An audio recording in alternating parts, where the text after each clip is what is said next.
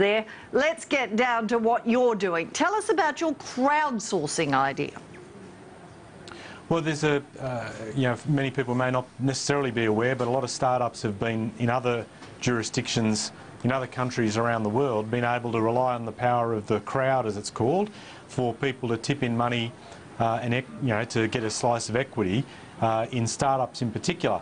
And uh, while, uh, you know, our um, nearest neighbour, New Zealand, has got that, that uh, humming along quite nicely, in Australia we haven't been able to do it because uh, to source funds from the crowd on, through an online platform uh, is something that a lot of people uh, consider would breach corporations law. So we actually, when we were in government, we tasked up the uh, Corporations and Markets Advisory Committee to look into, well, what are other countries doing on crowdsourced equity funding and how can we bring it into play here? So I've been talking with a lot of startups and I was actually at the uh, AVCAL uh, you know, showcase here in Canberra today, which is the um, venture capital and private equity uh, players that are in Canberra to basically raise awareness amongst politicians about the need to be able to fund startups. So we've been Okay. working on that uh, quite a bit and I'm hoping that we'll be able to make an announcement soon on this space from the federal opposition perspective. Now, it's an interesting one. I had Mark Carnegie on last night, venture capitalist, and uh, Hmm. the winner of his latest Carnegie's Den, who, who bemoaned how difficult it was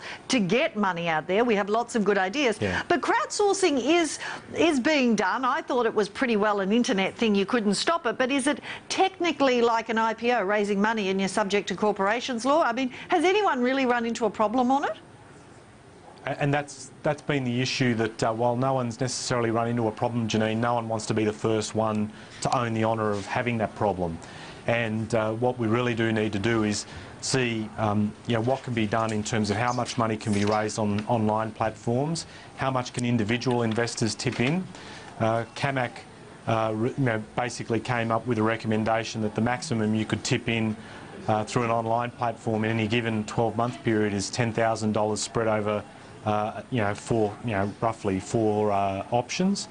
Uh, and so there are some things there, and they also recommended some other um, uh, avenues as to how startups could get the money, which startups have said to the federal opposition and to me in, in the um, stakeholder consultations I've been carrying out.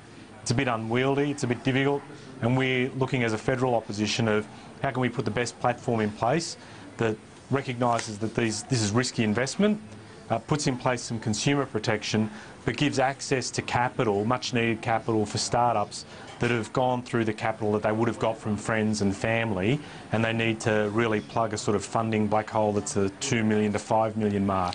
And that's a real challenge, and crowdsourced funding could be a way to fix that. I, I understand the challenge and I understand your intentions are good, but given what we have been through on um, on problems with people losing money in investments, i Yeah. it is a risky idea, isn't it? I mean, at the moment, the mantra for investors is we want to give you all the protections we can. It seems a little against the current um, mood to be trying to relax them because while most might be genuine attempts for startups, does open the way for a few shonks in there, doesn't it?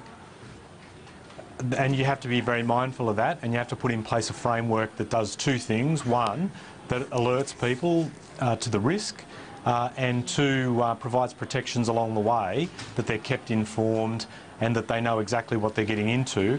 And some of the recommendations that were put forward I think uh, provide a solid platform. For instance, ASIC working with the broader sector to come up with a template disclosure statement so that people are informed of risk, that we uh, raise overall awareness um, of uh, you know the fact that you can either uh, make a lot of money and support technology that's going to be disruptive and change business models, or it may not end up that you get anything out of it. Um, it is. It, we do need to let people know up front that it is risky and that they go into that investment with their eyes uh, wide open. But as one startup said to me, Janine, they said, so um, let me get this straight. If I had, say, for example, $2,500 and I went to a, a local uh, uh, RSL and put my money into a poker machine, there'd be no restrictions on that. But if I wanted to actually support an investment in a startup that could transform uh, the way that a, a sector works through the application of that technology, um, I wouldn't be able to do it.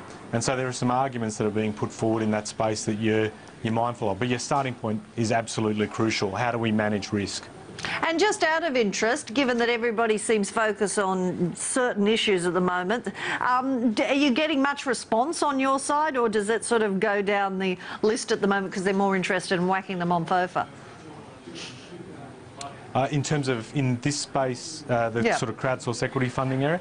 Yeah, well, look, uh, uh, Chris Bowen as Shadow Treasurer put this, you know, firmly on our agenda uh, in response to the budget in in May. You know, people say, oh, why don't oppositions put forward policy agendas? Well, we certainly said that innovation is one of those areas that can drive growth in the economy, and this is one space out of many um, that we do need to you know, get some movement on. The government's had the CAMAC report since May. They're, apart from you know, making some positive sounds, they haven't really done much uh, in saying, well, this is the framework we reckon we can take forward.